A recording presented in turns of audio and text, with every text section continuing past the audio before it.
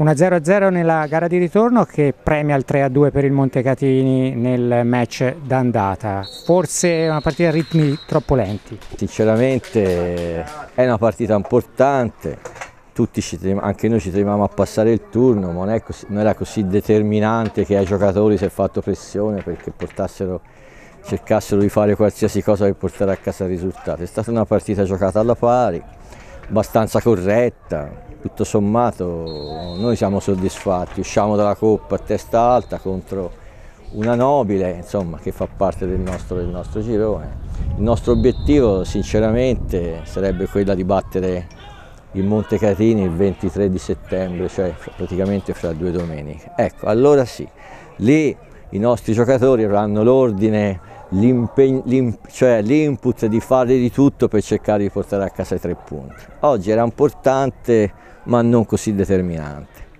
E poi in più c'era un grande caldo. Sì, era importante fare il risultato positivo dopo la sconfitta di domenica, una brutta sconfitta, un brutto scivolone, dobbiamo dimenticare subito. È stata una partita abbastanza, come hai detto tu, giocata a ritmi blandi, anche loro avevano parecchie riserve in campo, noi abbiamo fatto qualche cambio per far giocare chi gioca meno e alla fine il 0-0 ha premiato noi.